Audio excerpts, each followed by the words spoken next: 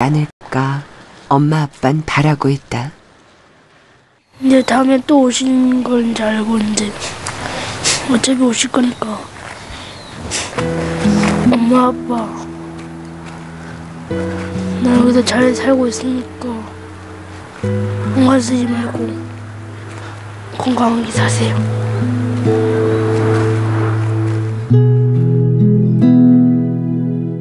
그날 오후 용화사에선 축구 시합이 벌어졌다.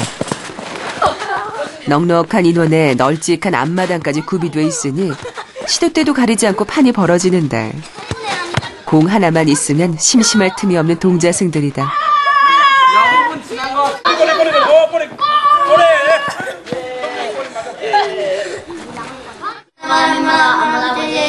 그런데 선록 선한 스님은 법당을 지키고 있다. 며칠 전 못다 외운 천수경 때문에 혼쭐이 났는데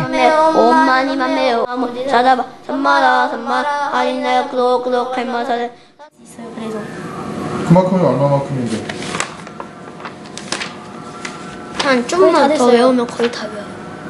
응? 저 정도면요. 거의, 다, 외운 거예요. 거의 다 외운 거예요. 보지 않고 한번 해보자. 그래. 시 작 신묘양 무대다란 아니나보다 다나다라 예나 마갈야 바로 이제 세바라야 모지 양살 중대금을 참여 악구 중대 군기가 바짝 든 두 스님이다. 그때 선광 스님이다. 마지막 점검을 하러 오신 건데 열심히 했어? 네. 열심히 했어? 목소리만 쓰면 들어가다라 뭐, 열심히 했어 안 했어? 했어요 열심히 했어? 네 시작 시작 시작 드디어 시험에 임하는 두 스님. 다행히 거침이 없는데 끝까지 긴장을 놓을 순 없다.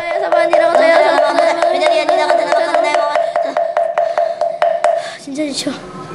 책 펴봐 얼마나 남았어?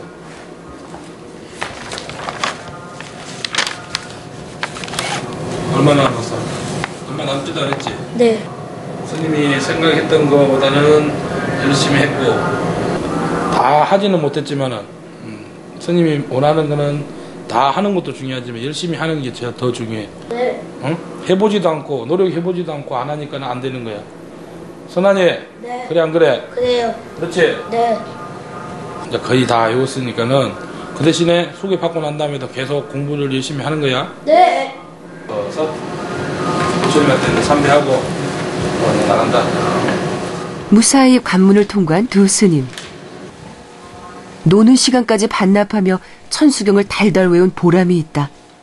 선생님이 왔을 때는 떨렸는데 막상 하다 보니까 점점 떨리는 게 사라지더라고요. 그리고 거의 다 외우니까 좋아지고. 계속 안 보고 하고 또 보고 하고 계속 그러다 보니까 외워졌어요. 잠시 후 축구가 끝난 앞마당에선 닭싸움이 벌어지고 어, 오케이. 천수경을 모두 외운 선록 스님은 마음 푹 놓고 놀 수 있게 됐다. 밀린 숙제를 말끔히 해결한 기분이랄까? 동자승들과 함께 노는 이 순간이 바로 극락 세계다. 자, 쓴다. 다 같이 박수. 야. 같이 살아. 어? 신발. 보여드려. 여기 여기. 이 떠잡고 물 이거가 온종일 쉴 틈 없이 뛰어다니니 신발이 성할리 만무하다. 신발 떨어진 사람은 신발 사러 간다 그러면 자, 차에 타고 나머지는 이제 씻고 자유 시간. 갑시다. 가까운 읍내에 나가기로 했는데 신발도 사고 세상 돌아가는 구경도 하고 일석이조다. 자기가 마음에 드는 신발 빨리 가서 고른다. 말 떨어지기가 무섭게 달려가는데 골라. 골랐어? 골라 고른 거 딱 빼. 보는 눈은 다 거기서 거기. 내, 내 걸레죠? 왜, 왜 그걸 골랐어요? 아니 게 똑같아요. 다산 거야? 지켜보던 선효스님도 탐이 났는지 맞지도 않는 신발을 사달라는데 어떤 거? 이거? 이거는 이거는 형, 형들이 신는 거예요? 결국 포기하고 돌아선다. 여기 있습니다. 아, 감사합니다. 예. 자, 갑시다.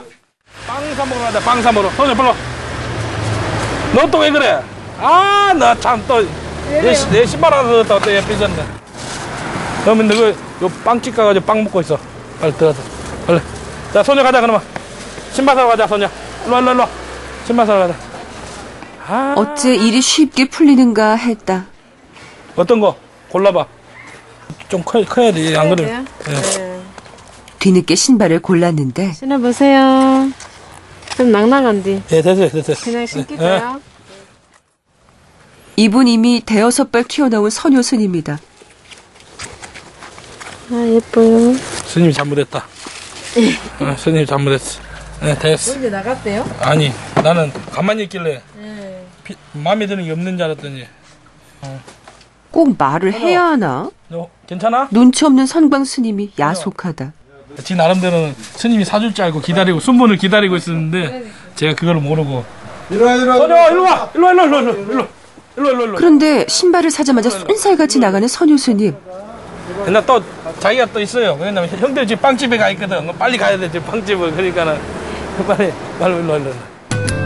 혹시나 제 차례가 안 올까 마음이 급한데 어디 동생만 쏙 빼고 배 채울 형님들인가 예. 넉넉하게 빵을 담고 선영 보자. 덤으로 예쁜 고깔 모자까지 얻었다. 선영 안녕히 계세요, 안 해? 자, 보고, 보고 이야기해야지. 감사합니다. 자, 빨리 갑시다. 그 시간 큰 스님은 붓글씨 삼매경에 빠지셨다. 한 글자 한 글자 빈 종이에 채워가고 있는 건 반야심경. 세간의 허망한 것에 집착하면 구애가 생기는 법이니 소유의 욕구를 버리고 비움을 실천해야 한다는 게 그 내용이다. 오온이 다 공허다. 모든 것은 에, 내걸할 것이 없다는 데서 집착감이 없어야 된다. 집착감이 없는 그 본래의 마음은 불생불멸한다. 이런 내용이에요. 그 가르침은 이제 동자승들에게 이어지고 있다. 가난과 가정 불화로 상처 입은 채 저마다 아픈 사연을 품고 이곳에 온 아이들. 처음 인연을 만들어준 건 부처님의 뜻이었지만 이젠 아이들이 주는 기쁨이 더 크다. 뭐 모여 사는 그 보람이 있잖아요. 그 뭐 혼자는 절대 못 살아요. 같이 살고 같이 먹고 어? 어, 이렇게 예, 있으면 같이 나눠 먹고 이렇게 한 게 그게 또 우리들은 더 좋고 어, 서로 좋은 거예요. 가들은 어른 덕으로 살고 우리는 아이들 덕으로 살고 다 덕으로 살아요. 이렇게.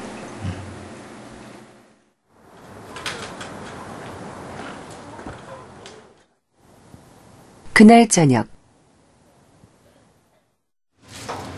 주방에선 공양 음식 준비가 한창인데 일반 사찰에선 좀처럼 보기 힘든 것들이 많다.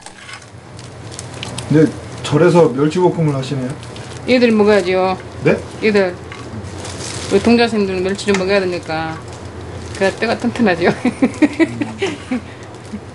동자생들은 또 이렇게 한참 잘하고 그러니까 좀 이런 거좀 먹여야지. 자주는 안 먹더라도 가끔 한 번씩이라도. 큰 스님이라든지 그 총무스님이 뭐라고 하지 않아요? 이제 얘들 먹는 거 좀 이해를 하시죠, 이제. 본인들은 안 드시더라도 얘들이니까, 크는 가정이니까 얘들이 저녁도 안 먹일 수도 없고. 이 동자신들이 안 계시면 또 이런 것도 허도 못하지요. 대부분의 반찬은 동자승들의 입맛에 맞춘 것이 많은데 가장 인기 있는 메뉴는 채소를 듬뿍 넣은 사찰식 떡볶이. 동자승이라곤 하나 입맛이야 속가의 아이들과 다를 바 뭐 있겠는가.